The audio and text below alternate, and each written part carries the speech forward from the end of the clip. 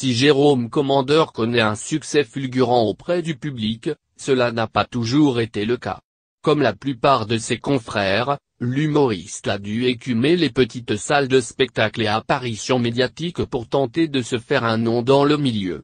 Chose qui aurait bien pu ne jamais arriver, s'il n'avait pas fini par faire la rencontre de Dan. Interviewé par nos confrères de 50 MN Incide, Jérôme Commandeur a décrit Dan Iboun comme la plus belle rencontre artistique de sa carrière.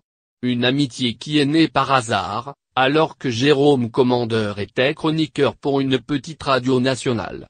Il était venu faire la promotion de son DVD, et il m'a dit tiens je t'ai vu vaguement à la télévision, je vais aller voir un de tes spectacles s'est-il remémoré?